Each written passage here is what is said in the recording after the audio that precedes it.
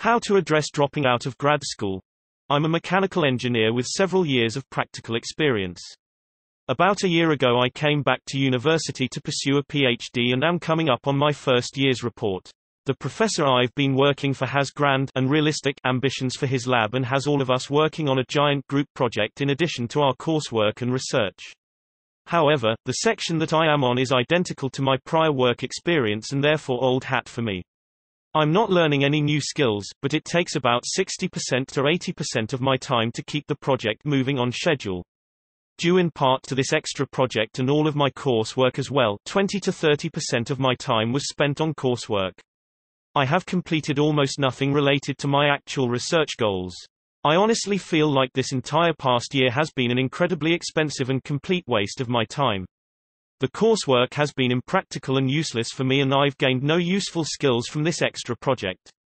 No I cannot drop this extra project, I've asked repeatedly. Before I came back to university, working on my own I made leaps and bounds more progress.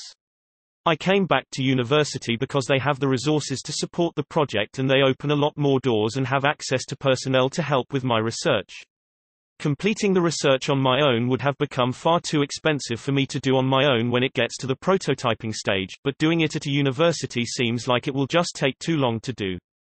But the main issue is that I'm not doing academic work, I'm doing the same thing I was before I got here, but with an 80% pay cut. I'm considering leaving grad school and wondering, what future employers will think of someone who drops out of a PhD program after only a year.